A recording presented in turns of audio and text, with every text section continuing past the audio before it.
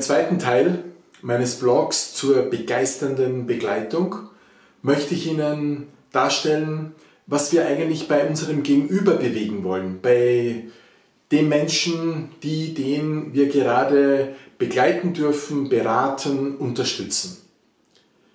Das Wesentlichste, aus meiner Sicht jetzt, ist es, dass es jemand schafft, eine neue Perspektive zu bekommen, einen neuen Blickwinkel auf seine Bedingtheiten, auf sein Leben, auf dass sein enger Blick, sein Tunnel vielleicht aufgehen kann. Egal was in unserem Leben passiert, ich bin der Meinung, es gibt immer einen kleinen Aspekt, wo wir neu, aus Distanz, vielleicht manchmal sogar aus Humor, mit einem Lächeln auf unsere Situation schauen können. Viktor Frankl sagt, es gibt immer einen Freiraum, den wir aber nutzen dürfen, ja auch nutzen müssen.